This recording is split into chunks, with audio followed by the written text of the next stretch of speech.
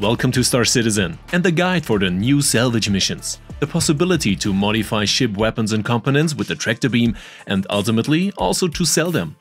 Because with the new possibilities from version 3.19, you will become a salvage specialist. We have already presented the salvage mechanics to you in dedicated and comprehensive guides, but from version 3.19 it is possible to use ship weapons, missiles and in the future also components separately from stripping the hull, which offers many new and above all lucrative possibilities. Because as soon as the ship enters the soft dead status, its weapons and missiles can be removed at the hardpoints with a conventional multi-tool with tractor beam and ultimately also sold. The prerequisite is of course a cargo hold in which you can store the material. In this way, every enemy shot down becomes an optional lucrative source of income. In order to store large weapons or missiles with the tractor beam in your cargo hold, you have to hold down the R key and rotate them so that they can be stored in a space-saving manner. And of course, it can also be worthwhile to lighten the crew's load accordingly before you optionally work on the wreck or immediately set off to the way to the sale. Because at the usual sales points for ship components, weapons or drives, you also have the possibility to sell corresponding components directly. We choose the Dumpers Depot on Port Olisar and got a bonus of almost 5000 UEC, mind you for the smallest possible ship, an Aurora. However, it becomes particularly lucrative if you combine the new salvaging missions, the salvaging contracts, with the sale of ship components such as weapons or mining equipment. As a first variant, we use a legal salvaging mission, where we have to advance a fee of 1000 UEC to secure the location and legal mining rights for an Eclipse. Legal salvaging missions give us a direct jump point and an indication of how much material we need to mine to complete the mission, and thus a reputation gain.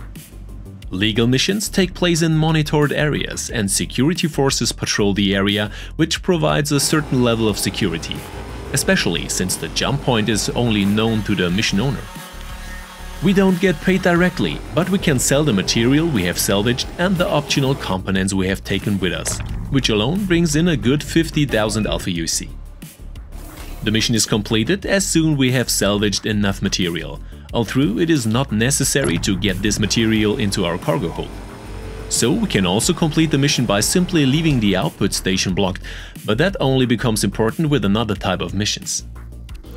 Because there are also illegal, clearly more lucrative salvaging missions, whereby we already have to pay 10,000 Alpha UEC in start fees, and then also have to deal with a timer. However, we do not run the direct risk of being charged a crime stat for this, as this risky salvage mission is not a direct illegal act.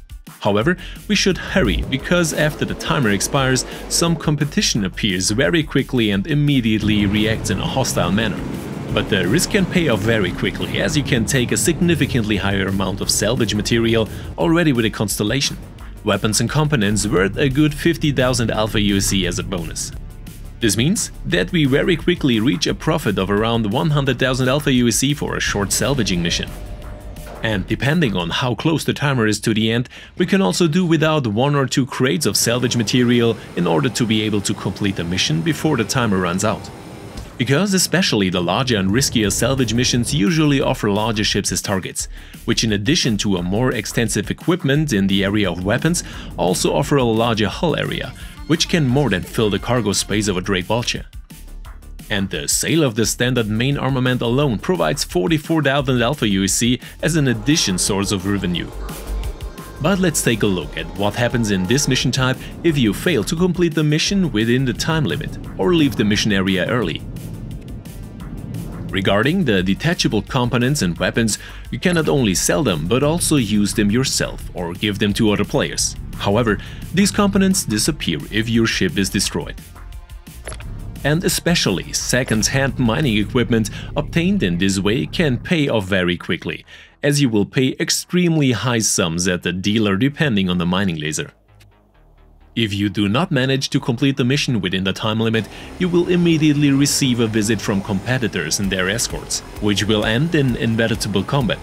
However, you will not receive a crime stat directly.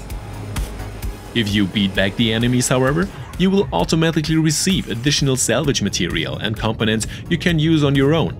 But the fights with only one vulture are sometimes a strong challenge, so it is worth bringing an escort yourself here. And if you leave the mission area before completing the mission, the materials you have salvaged and components you have collected so far can be sold, but the mission itself is considered as a failure and becomes with a loss of reputation. Finally, there is the option of taking a completely open salvage mission, Salvage the Battlefield, where you can explore the battlefield with countless ships to your heart's content. But the catch is that this battle is still in progress and new enemies appear all the time. So, if possible, you should not travel alone, but bring friends with you to watch your back while you go about your work. This offers the perfect combination of different gameplay areas, such as combat combined with industrial gameplay. The income possibilities are enormous, whereby team play is required or you have to bring along a good portion of luck. Because as soon as you leave your ship to collect lucrative weapons and components, you are of course completely defenseless and unprotected. And so, you very quickly become a victim yourself. Here of course it is a good idea not to travel alone, but to load the trophies you have won and the salvage material you have mined, so as not to lose everything. And here we come to another innovation from version 3.19, the direct component and weapon exchange. As soon as a player has released his hardpoints, we can remove the components with a tractor beam and exchange them for others. This finally makes it possible to change weapons in space or to carry out a quick repair during a pause in the fight. Here too, it is necessary to hold down the R button and rotate the weapons so that they fit on the hardpoints. However, there is still a catch when changing weapons, because ballistic weapons of course first require ammunition, which is not yet physicalized. However, these extensive new possibilities also offer dangers and opportunities, depending on whether you are a righteous citizen or a pirate lurking about. Because it is more important than ever that you lock all ramps and entrances when leaving your ship and, if possible, also keep your shields activated to keep uninvited visitors away. In principle, it is not possible to remove weapons or components from intact ships that are not in soft dead status. To do so, manual clearance must first be given. And this release is only possible via the ship's cockpit, which makes access necessary, either through a ramp left open or even by force of arms. You can unlock these ports with the key combination of the right Alt or Control key and K, or you can hold down the F key and go to the ship's systems menu with the right mouse click to unlock the ports here. Then, however, nothing stands in the way of robbing other players, whereby you can directly remove and sell the attachments in the area of weapons and missiles, right up to individual gimbals. Of course, it is also possible to incapacitate the ship, so to put it into death mode, which is reached as soon as the hit points drop below zero. But beware, if you do further damage, the ship is destroyed and most of the components and the cargo are lost.